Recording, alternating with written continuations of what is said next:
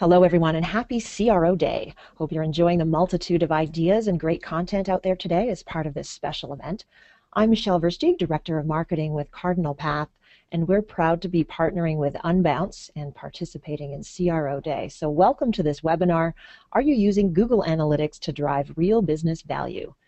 If you have any questions throughout the webinar, please submit them through the questions panel on your screen, and we'll address them later in the presentation. Send as many questions as you have, and if we don't get to them live, we promise to follow up with you by email in short order. You can also join the conversation on Twitter using hashtag CRODay.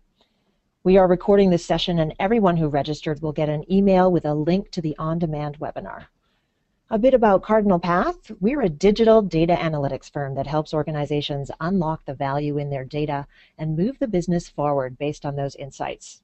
Our teams comprise some of the top minds in the digital space, and our aim is to share all that we know. And actually, just last week, the Digital Analytics Association named Cardinal Path the most influential agency of the year. A huge honor, and we are so grateful for the recognition. And now I'll introduce our speaker. John Hossack is president and co founder of Cardinal Path. He's been working with organizations to help them improve the performance of their online channels for over 13 years. John is a thought leader and a sought after speaker in the analytics, usability, and conversion testing space. And he's also past president of the International Internet Marketing Association. With, with that, John, I will hand over to you. Thank you for the introduction, Michelle, and thank you everyone for joining today. Uh, firstly, I'd like to thank my friends at Unbounce for getting us involved in this CRO Day. We're very excited to be a part of it. We've got a really big group with us today, which has got me really excited. I'm hoping you're seeing my screen at this point. You should be seeing my handsome photo there. Um, and uh, we'll be moving on in just a few moments. The theme of the day is Google Analytics and tricks for conversion rate optimization. We've packed as many tips and tricks as we can think of into the time we have available to us. So let's get started. I like to think about what we'll be talking about today like a freight train leaving the station once this freight train sets in motion and gets up to speed, look out because good things are going to happen. Today we'll talk about conversion rate optimization and how GA can help take your game to the next level. I'm sure that many of you listening already use GA um, to some extent and may be very familiar with it, and others it'll be brand new. Regardless, I hope that everyone is going to learn a few things here today and be able to start thinking about their approach to conversion rate optimization and how GA can help. The first bullet point focuses on how to use GA to create segments and define groups that have the most value to us we can focus our conversion rate activities on them. Then we'll talk about how we can target and remarket to these newly discovered valuable segments that we've identified. Then we'll dive into a little known feature around product data that will help us to upsell and cross-sell more effectively to our most valuable audiences. Additionally, we'll talk about how some of GA's e-commerce reports have evolved, giving us better insight to what we're looking for from an e-commerce perspective. Don't worry if you're not an e-commerce business. A lot of this stuff will apply to you even if you're not selling things online. Finally, we'll talk about how you can personalize your content to supercharge your conversion optimization efforts by creating personalized offers and campaigns to radically improve your conversion rates. So with that being said, let's dive in. So the first thing we're going to talk about is segments. As we know that not every visitor that comes to our site is the same, and therefore we should not treat them all the same. It's probably best to start at the beginning. What is segmentation exactly? If you've used Google Analytics or any other modern analytics tool for that matter, for any length of time, you're probably very used to segmenting your data, even if you don't think of it in those terms. In the context of digital analytics, all segmentation is is the notion of taking your aggregate data and breaking it down into its component parts. I like to think of segmentation as the slicing and dicing of your data in ways that make it possible for you to get insights about subsets based on something that they've done and have in common with each other. When we have the ability to distinguish between first-time visitors versus somebody who's been to your site 25 times in one day, we can start to provide different experiences both on-site and in our campaigns to these different user types. Each of these segments is going to perform differently against the goals for our website, and we want to be able to take advantage of this knowledge that we have about the different visitors. So we can see things from people who've never been to our site before, people who are accessing via different devices, be it mobile or desktop, geographies, do they live in California, new customers, loyal customers, and the different types of campaigns that they've reached us through. How do we, how do we find these valuable segments? Let's get started and see how we can use the concept of segmentation to find some high-value groups or segments. A great place to start is to think about how your segments or your visitors fall into different audiences or sections. By looking down this list here, we have an available set of reports that focus on attributes and behaviors and even demographics that will help us segment our visitors by their differences, specifically which ones are more valuable to our business versus those that are less. We're going to start by looking at reports that are available as a result of a DoubleClick DoubleClick audience integration. For this integration provides us with very interesting demographic data. To start with, we're going to click on the demographic audience data and we're going to see that different age groups behave in very different ways. We can quickly and easily see here by clicking on this compare link and we like to always click on the compare link because it really helps us figure out some of the differences much more quickly than the other reports. Once you've clicked on the compare link, you'll see here that we've got the ages broken down by 10-year bands, and then we're looking at revenue, and then what that revenue is like versus the site average. From this, we can gain some very interesting insights. In this case, we see that 25s to 34 year olds and 35 to 44 year olds make us the most money, and the younger spectrum and the older spectrum aren't performing nearly as well. So to start with, we'll want to make sure that we have our money being spent on the segments that generate our most revenue and check against how much money we're spending against these other segments to make sure that we're not spending more to attract these customers than we're actually making from them. Now that we know this, we might even change our messaging to try to appeal more to these groups that aren't performing well, as maybe we're excluding them in our messaging, and that's why they're not responding well. As a bit of a recap for those that are familiar to Google Analytics, Google Analytics lets us dive in by further applying secondary dimensions. By doing this, we're now looking at the age breakdown in addition to the gender. It's often the case that it's not as simple to say that a particular age range is the best one for us. What we see here is that that given age range doesn't behave the same. Within that age range, the gender contribution is very different. So when we use the secondary dimension of gender inside of age, we get a whole new look at everything. I like to call this secondary dimension dicing what we've already sliced. We now get a more granular look at who's worth the most to our business and we can focus our efforts on attracting more people from these segments. In this case, females in the 35 to 55 age range.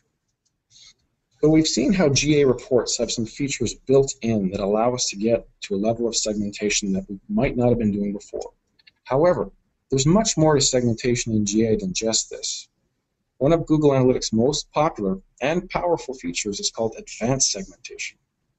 Using advanced segmentation, you can build your own custom segments, save and share them, use them on any report, and not have to go through all the manual workflow of applying secondary dimensions every time.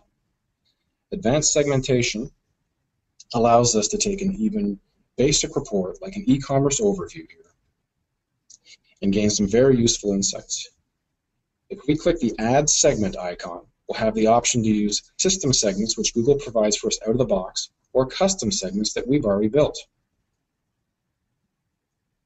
When applying these segments, our report refreshes and every metric is now segmented along these dimensions. Now, instead of seeing our aggregate conversions rates, we're able to uncover that conversion rate is much lower when users using a mobile phone are on our site versus those on a tablet or a desktop. This can be very helpful information. What we very quickly notice here is that our conversion rate on mobile is much lower than desktop. There could be a number of reasons for this, including a horrible mobile experience, or that the mobile channel plays a very different but important role in our customer lifecycle journey. That is one where the conversion doesn't take place, but potentially where they first learn about our product or offering, or they engage with us further after they become a customer, becoming more loyal and becoming our advocate. Google offers a lot of segmentations that come out of the box. However, the best part about advanced segmentations is that we can create our own segments using a simple wizard that lets us specify and set our conditions.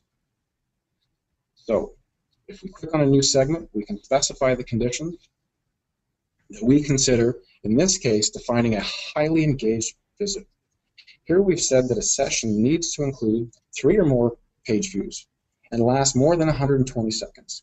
Any session that meets these criteria will fall into the highly engaged bucket. Notice here that we've said that we're trying to segment on highly engaged visitors, but we're actually, but not sorry, not visitors, but on sessions that meet the criteria. In other words, we're asking GA to show me all the sessions that met these criteria, as opposed to show me all the people who have met these criteria. Stay tuned and we'll dive deeper into the importance of this topic in just a moment. Finally, here I want to point out that you're not limited to the hundreds of dimensions that GA provides you. You can also use your own custom dimensions that use data that you inject into Google Analytics. Let's say you know something about the attributes of your visitor. For example, they fill out a form where they state their industry. They choose a drop-down box that indicates their gender. Maybe you know they're a gold subscriber because they've logged in and your CRM indicates that, or they've reached level 5 in your game. Google Analytics doesn't know this stuff by default, but you do, and you can pass this information into Google Analytics using custom dimensions. Once GA knows what's up, you can build segments using these dimensions and use the same process we just defined. An important note, be sure not to add any personally identifiable information via custom dimensions. This information would also be known as PII. Google Analytics has a very strict interpretation inside, inside their terms of service that would create a violation uh, with respect to how you're using the tool. So keep any personal information or PII out of custom dimensions. So how do we get these custom dimensions into GA? Well, we start from the admin section. The first thing you want to define the dimension in the GA interface.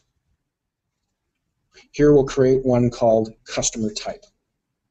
Once we save that, as you'll see, this part only takes a few minutes.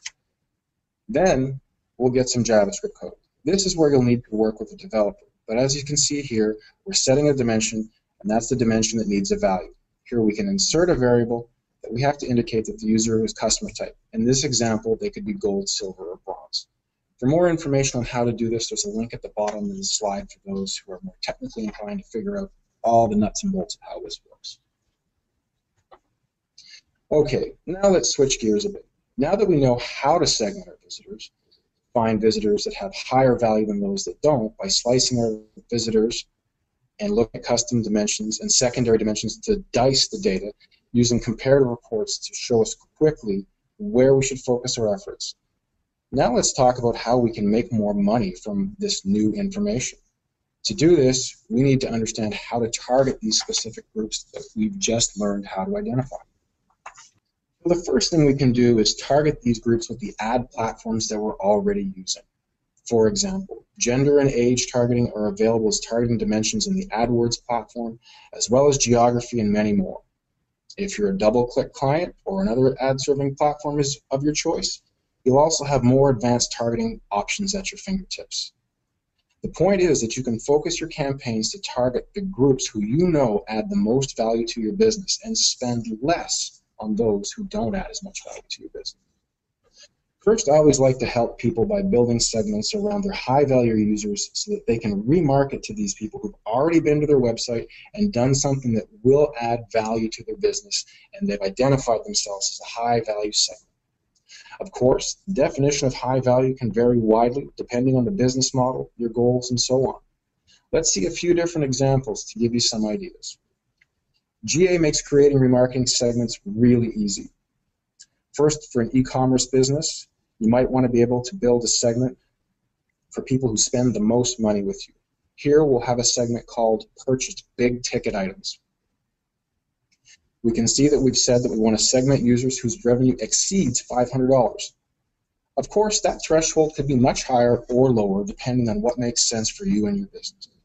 Anyway, if you look closely, you'll see that we're segmenting on users whose revenue per session exceeds $500.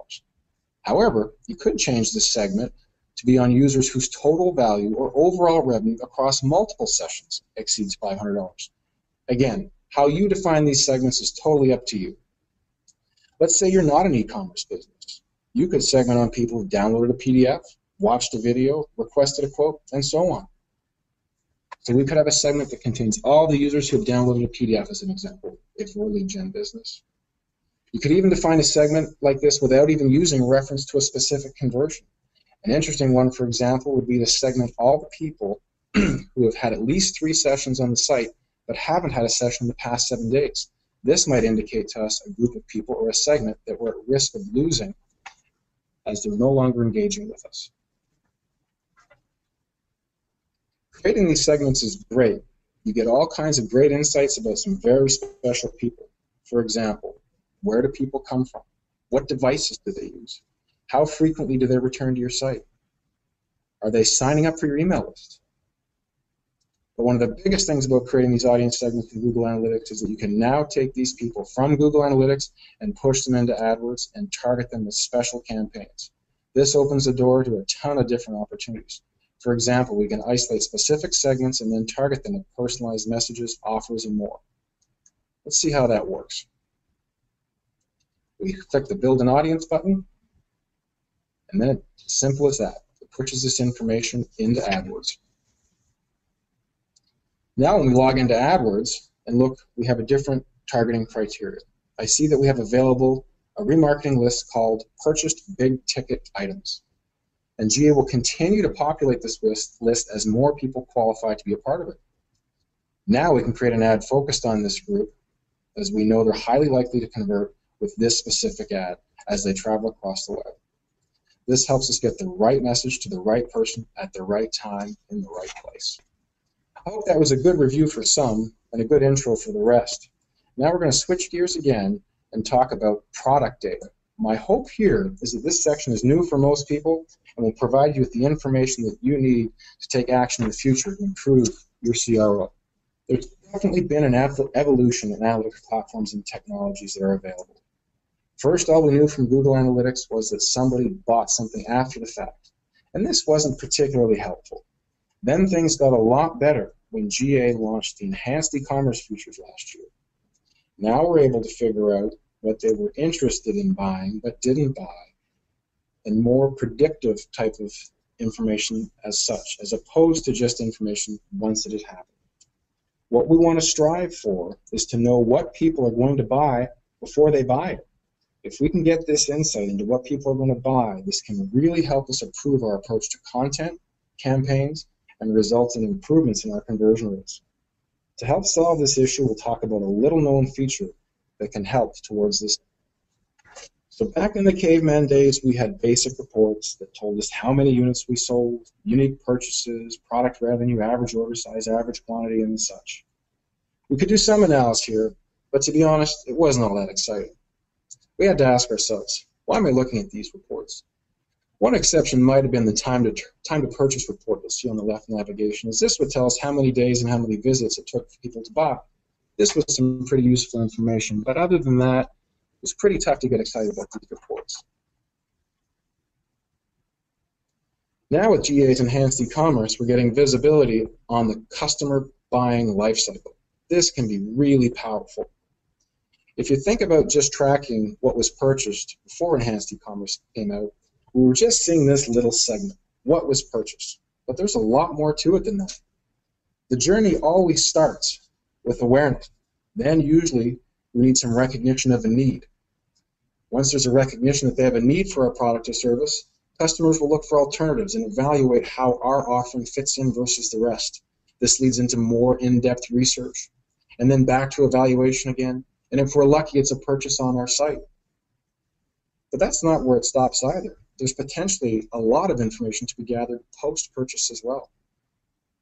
This is the entire customer lifecycle, most of which we had little visibility into. But now with enhanced e-commerce, much more of this journey is exposed to us. From an enhanced e-commerce perspective, it's a whole new way of looking at the path to purchase. It's not just at the transaction level of what was purchased. Now we can see the path to purchase from how they came to our website through which campaign, which products they looked at, which products they added to cart, and ultimately which products they purchased. And then we can segment by that. Specifically of interest, things can be that somebody added to the cart but didn't purchase. This can send us a really important intent signal. This gives us a lot more data to play with so that we can better personalize the content and our campaigns. Think of what we could do if we could customize a remarketing message knowing that they added something to cart and likely wanted to buy it but I haven't actually bought it yet. With access to this new data in GA, we can now create segments of people based on new dimensions that are now available in the enhanced e-commerce section. We can now quickly create segments like people who've added things to cart but did not purchase and then remarket to them. So we're in the crawl phase. We were in the crawl phase with the old Google Analytics. Now with enhanced e-commerce, we're starting to evolve into the walking upright, and soon we're going to be in the section where we're picking up speed and starting to run as we start talking about a little secret that most people aren't aware of. Those who are parents of younger kids out there, and I'm one of them, this situation is a bit of a nightmare. You see your child being excluded from something that they very much want to be a part of, and everything in your heart wants to help them be a part of the group. But in the business world, it's a dog eat dog world, and it's cutthroat. And you want to be the one who's in the know, and you're hoping your competitors are the one who are excluded from. This little secret is related products. A lot of people aren't aware of the related products feature as it isn't a part of the GA interface. I'll walk you through how to access it in a minute, but first I'll explain what it is and what it does. To help illustrate related products, I'll use our own business as an example. Cardinal Path not only provides consulting services to help organizations with their data and analytics, with their AdWords and customer acquisition, and with their optimization and CRO efforts, but we also offer a lot of training. This training is basically one product, a training class, but we have a number of different classes. We have AdWords 101 and 201. We have Google Analytics training in a 101, 201, and 301 version, and we offer these training in cities across North America. We want people sign up for as many of these training days as possible. Having sign up, having someone sign up for two, three, four, and even five training days is clearly a lot more valuable to us than having somebody sign up for just one day. So how do we figure out which classes are purchased together and have the best opportunity for us to cross-sell and upsell? Figuring out which projects or products are purchased together is a key signal for us to customize our marketing effort. So, as I mentioned, we aren't looking at the Google Analytics interface here, but we need to actually approach this via the API. So for all the techies who are out there and listening, got excited because I said the word API, and the rest you said, oh crap, this sounds too technical for me. Uh, the good news is for the non-techies. Google's created a GA Query Explorer. So that the non-techies, like myself, can make API calls behind the scenes bring back data they want without needing to know how to code. You'll find a link at the top of the slide here for more information. Using the API to get related product data will help us to predict what people want to buy next and create segments based on this data. First thing you'll be asked to do is log in with your Google account credentials. In this case, you'll see I'm logged in with Cardinal Path with a UA-enabled property, UA standing for Universal Analytics. And the profile I'm looking at is our master profile that has all of our data, not just our training pages. Okay, here might be the most technical thing we're going to look at today, but stick with me as it really isn't that bad. Step one is you need to make sure your GAID is in there. It should be pre-populated, so this is a pretty easy thing to take care of. Next, we need to carve out the dimensions and metrics that we'll want to make available via the GA interface. To do this, you'll click on the dimensions dropdown and scroll all the way to the bottom of the big long window to get to the related products section. Once you're there, you're going to focus on the product ID, product name, and the product name for both the query and related. Next, we need our metric. Again, click the drop down, scroll all the way to the bottom, find the related products, and we're going to check off the correlation score, the product quality, and the product quantity. As with any query, you can also make it more complex with filters and sorting rules. Here's a quick filter that I'll leave you with. In this case, we only want to look at products where we sold more than 20. This will help us eliminate those one-off sales that just don't provide the volume to justify optimizing for. Also notice in the sort section that the first symbol is a little minus symbol. This will then set in descending order the correlation scores. So what does all this mean? Well, now we let Google work its magic to calculate the likelihood of two products being purchased together. This is how we can see which products relate to each other. The last step is to click the Get Data button, and it will show us a table of data that we requested, and we can send that over to Excel. So this is real data from our trading site, right down at the product ID level. We see the cities and the courses that people sign up for. When we dive in here, we see there's a high correlation of people who signed up for the GA 101 course and the GA 201 course in San Diego. So there's a really good likelihood for us to sell the 201 course together with the 101 course. Much more likely, as it turns out, to sell the two GA 101 and 201 courses together than it is to sell the GA 101 and the AdWords 101, which actually may have been our hypothesis. We may have thought that many people would like to be at the, or not like to be, that are at the same level, so they'd be taking an introductory course to analytics and an introductory course to AdWords at the same time. But it turns out that that's not the case. So from this, we know that a lot of people have purchased GA 101 and 201 together, but we can also see that there are a lot of people who still haven't gone that far to purchase the second course. I want to take this knowledge and get more of those people who haven't purchased GA 201 and actually get them to buy it. So let's put this in action. First things, I can do this on the website itself in real time. When I know that someone's about to purchase 101 and not 201 in San Diego, I can add a message or an offer to try and entice them or convince them that they should take both together. In this case, I've decided to put an offer in front of them that if they decide to take 201 as well, we'll take $50 off the price. We know that many people see value in taking both of these courses together, so in some cases we just need to push people a little harder to get them to convert. We can also use this data to drive merchandising decisions. And in this case, by merchandising, I'm meaning the same thing, taking 201 once you've already purchased 101. We've all been to sites that try and do this for us. When we buy one item and they suggest another. If you're buying pants, they say, how about a belt? If you're buying shoes, how about socks? A swimsuit, do you need goggles? Amazon's great at this to the point that I don't even have to worry about what I need next or what I'm running out of, but instead I just go to Amazon and they tell me what I need and I buy it. But in this case, we're going to update a few of the marketing blocks. To call out our 201 to someone I know has purchased 101 but not 201 yet. We can customize this with any message we want and use any area of the website that we can control. Certifiably insane is the message here. If you've taken 101 and haven't signed up for 201 yet, we truly think Outside of your website, you can use this data to really amp up your email performance. Many people have tons of data at the CRM level and a ton of data, data in their email platform. With this data, you can run quick queries to get lists of people who have bought 101 but not 201 in San Diego. Now, once I have that information, I can specifically target these people that I truly believe are highly likely to convert by sending a message directly to their inbox. This is not a spray and pray blast we know these people have bought 201, and we know that a lot of people bought 201 want, sorry, bought 101. A lot of people want to buy 201 as well. This will increase my likelihood of getting a conversion. But if you look at the text specifically on this slide, I'll give away a little bit of our secret sauce. When we're following up with people, offering unicorns and trained fighting monkeys really seems to get them interested. Again, what's interesting about this is that we can do this through Google Analytics right back with the idea of segmentation.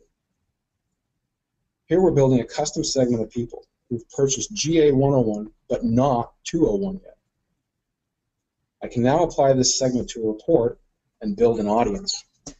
Building of the audience is a very important function because this is how we end up pushing the information into AdWords for people who are using the AdWords platform, or if you're a Google Analytics Premium client, as well as a DoubleClick customer, you can export these lists directly into DoubleClick.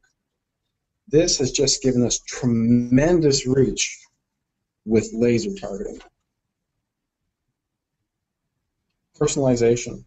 So we've been talking about personalization and we're going to continue along this path. What we want to do is provide the right offer to the right people at the right time in the right place to maximize our conversion rates. We've looked at a lot of ways to do this already, but there are even more. The key we've seen so far is to segment our data, identify those segments that are the most valuable, and take advantage of that information. So let's continue with the crawl, walk, run approach. Start with the low-hanging fruit that you can do with the tools that you have in place already, which you're probably not using yet. Then move on to some more advanced features within that same tool set beyond the low-hanging fruit and take advantage of those.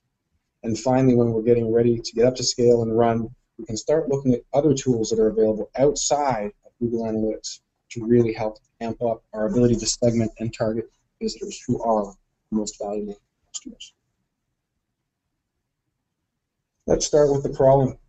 Google Analytics campaign tagging. This is a great and important way for us to tell Google Analytics the source of the traffic that's arriving at our website. So in this case, let's look at our email. The button in the email is really just a link to a landing page on our website.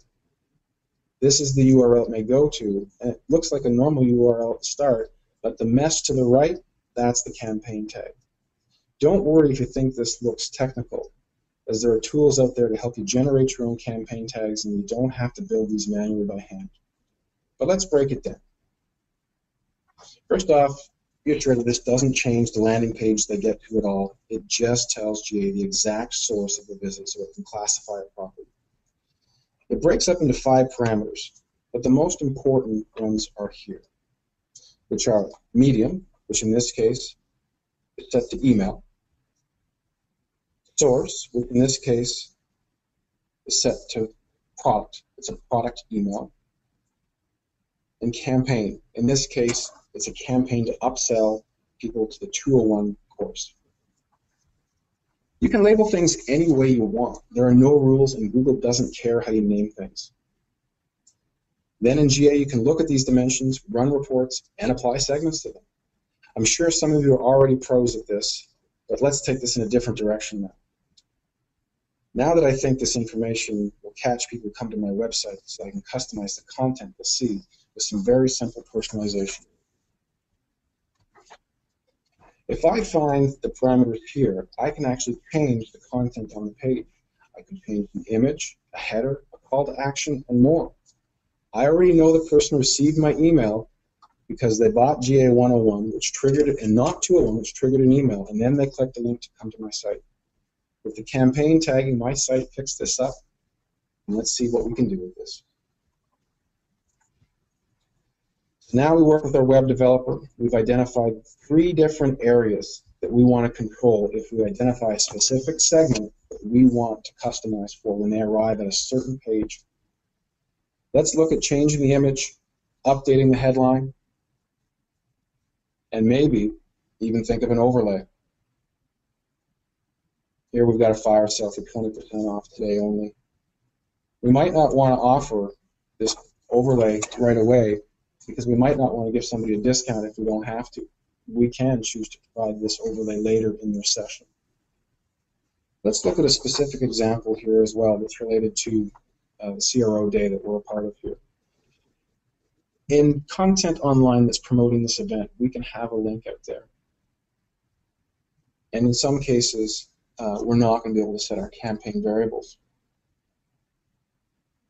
But if we can, what we want is a medium here, partner, a source, CRO day, and a campaign segmentation because that's the topic of today's event. These three parameters tell me a lot, not just that they came to my site from a CRO day page, but it tells me what they're interested in, and that's really valuable to me. But for a moment, let's go back and let's pretend that I didn't set these campaign variables or that I couldn't get it done. Well, don't panic just yet. All is not lost. A little bit on the technical side here, but don't worry. Uh, information does get passed in the header. This information tells me a lot of what I'd get out of the campaign tagging if I was able to have it. When your site loads a web page, one of the things in the header request you'll see is the referring information. And in this particular case, there aren't any more UTM parameters that I can key off of, but instead I can have my developers look for the information that's in this referring section of the header. If this matches what I'm looking for, So if, it, if the header contains X, I can then customize for Y. And Y can be whatever you want. We've talked about many different things, changing images, changing headers, changing calls to action, overlays. If you can control that area of your site, you can key off of that to customize the content and optimize your ability to engage with your visitors. Here's another example on our homepage. If we don't know anything about you, you'll land on our homepage and you'll see a message that looks like this. Here, you'll see content where we're talking about our maturity benchmarking service, an online analytics maturity assessment. It'll help you get lots of information and compare yourself against others of similar size and similar industries, etc. It's a great tool for us, and our people who use it get a ton of value out of it. However, if I actually know something about you because of the information that's in the header or information in campaign tag, I can do more to customize the content. If I know that somebody's come from that conversion rate day page, I can change my content to talk about services that are more conversion rate focused, have calls to action, offers that are different from the default of my maturity benchmarking offer. In this case, contact us today to talk about segmentation. So we can walk. We talked about the UTM parameters, and there are so many other parameters we can use too. We're not done there. If your site has search functionality, we can key off of what people are searching for. And search is a tremendous source of intent information.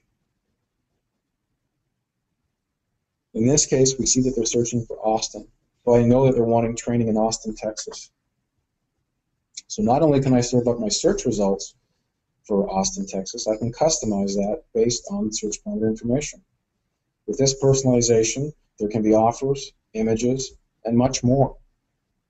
This is what the query string parameter looks like, and your developer can help you walk through it. But you will see towards the right side, Q equals Austin. That's what we're keying off of here. So then we'll write a query that if Q contains Austin, we'll change the picture, we'll change the text, we can have an overlay. It's almost limitless. If we have access to it, we can control it. In this case, we decided to give somebody 10% off. But as I mentioned before, you don't have to choose to give them 10% off right at the search result page. You could delay that to a later point in the session so that you're not giving someone a discount who isn't needing a discount to actually sign up. That's something that you'll want to play with and experiment to figure out if it works for you or not. One of the things that people wise up to is that by actually abandoning certain procedures or processes on your website, they'll sit back and wait for deals because many different businesses will offer a deal right out of the gate. Now we're going to start running uh, a bit back with the idea of custom dimensions and custom variables. We talked about setting up custom data variables about your visitors before. To do this, we need to know two things to set up in GA, and we need to add some code to your site. What this code does is it tells GA when someone's done something that we want to know about. In this example, we're looking for someone who logs in, and we're going to look up what level or status they are. Then this will set a GA dimension, in this case dimension 4. Now GA knows that this person is a silver member. Now you'll want to work with your developer to get this code set in a cookie so you'll notice this when the visitor comes back. In this case, we're setting a cookie at a silver level and we'll have it expire in 30 days. It doesn't have to be 30 days. It could be 60 days, 90 days, whatever you want. The great thing about this is now we'll have access to this data about this user because we've cookied them down the line. This extra step allows the ability to act on the information at a later date. And this is really important to us because a lot of the time it's these future actions that we really need to take advantage of. And now we have the hook via the cookie implemented against it. Now we can access and read the rules around the cookie, and we can write script to customize the content on our site. In this case, if they're a silver customer, one of the things that might be very important to us is to figure out how to convert them to a gold customer. So we might have a campaign that launches a pop-up, letting people know or the specific user know that if they fly three more segments in the next next 30 days, they'll have earned their gold status. And to some people, that little prod is all it's going to take to get them to fly that airline three times in the next month versus the competitors because these people who are flying all the time really enjoy the perks. So for those of you who are wondering why we have to do things this way, as in the past there were alternative methods, as a result of the Universal Analytics Code, we lost access to the UTM-V cookie, and this is now how we approach this problem or opportunity. The last thing I want to talk about in the running phase is that there are many other ways to do this beyond just using Google Analytics and your ad serving platforms. We've been talking about and focusing on what you can do with GA and the help of your developer, but there are a bunch of great tools out there that can help you do this and so many more amazing things with many different data sources. Really fun things such as weather and seasonality. You can use lead scoring from your CRM. If you're collecting data on it, you can use it. The combinations and permutations are almost endless.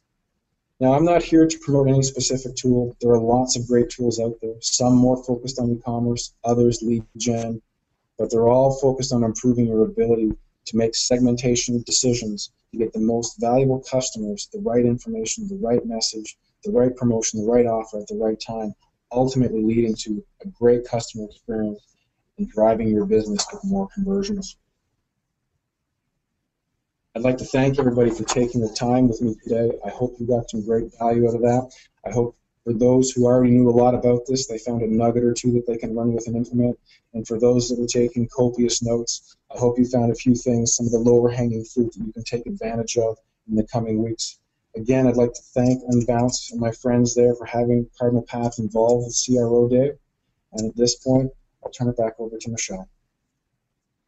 Thank you, John. We do have a few questions that we have time to address today. Some of them are through the uh, question panel, and some of them are through social media via Twitter. So the first question for you is, uh, what about enhanced e-commerce? Is that a custom report? Well, that's a great question. As it's a new feature, uh, there are probably a few questions out there around that. Enhanced e-commerce is not actually a, a new report, but it's a complete overhaul of how they report on e-commerce a few steps. You need to go into Google Analytics administration and enable it there. And when you do that, you'll need to retool your website. So you're going to have to redeploy some code because there's a bunch of information that can get sent to populate data in these new enhanced e-commerce reports that doesn't just show up on its own.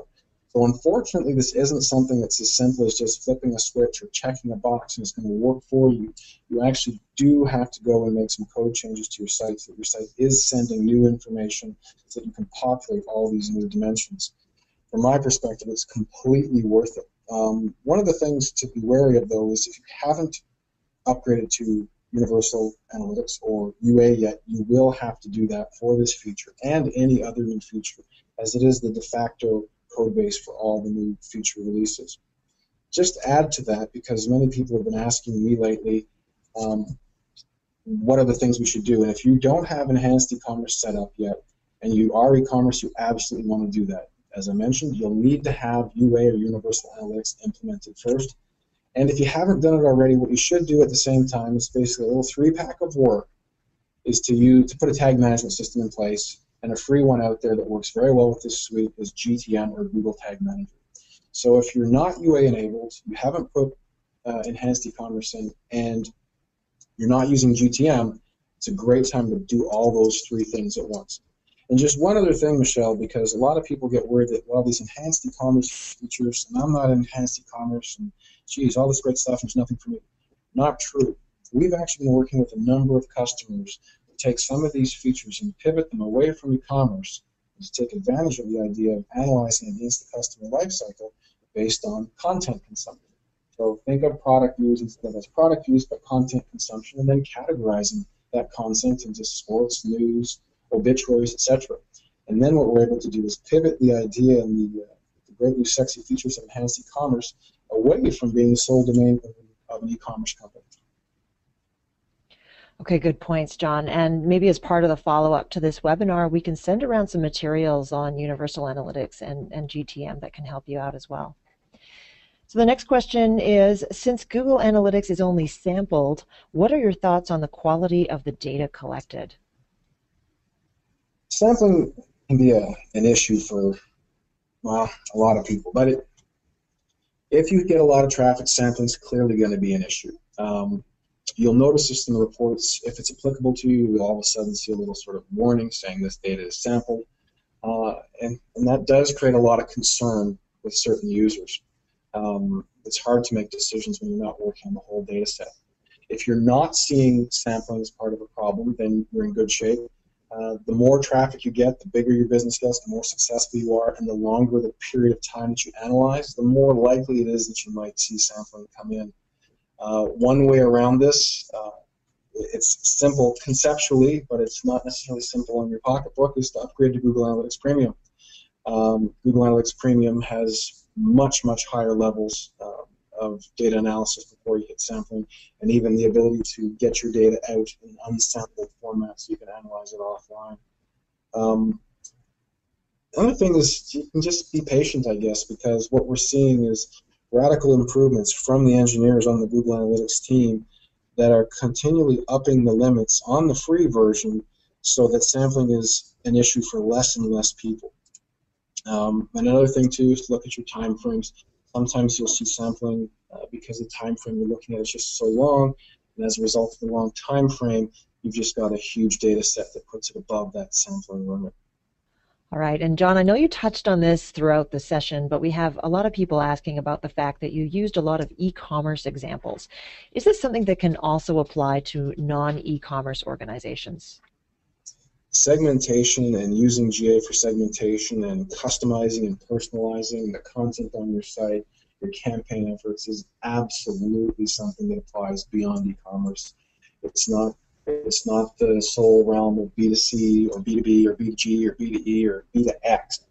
Segmentation is an important part of the way that any business should be analyzing their data and looking for new and better ways to identify their most valuable customers, engaging with them on a more personal level.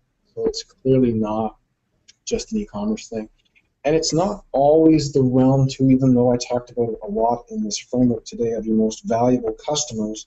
In certain cases, you'll know deep down that there's a, a really valuable segment to you that just is performing under par. And if we think back to that example where we were first slicing and dicing by age and gender, um, maybe it was females in a certain range because the product was for females. Maybe it was makeup and beauty products. And clearly we'd expect that group to perform better.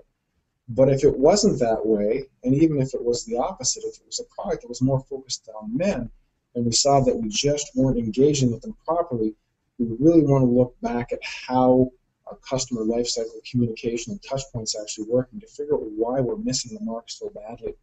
And again, that extends beyond just uh, the e-commerce examples into content consumption for publishers and beyond.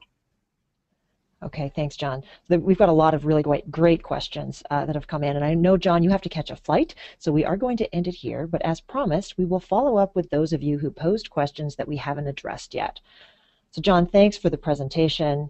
Thank you to everyone joining us for this special CRO Day event. Keep an eye out for some follow-up materials, including the recording of this session, and enjoy the rest of your day.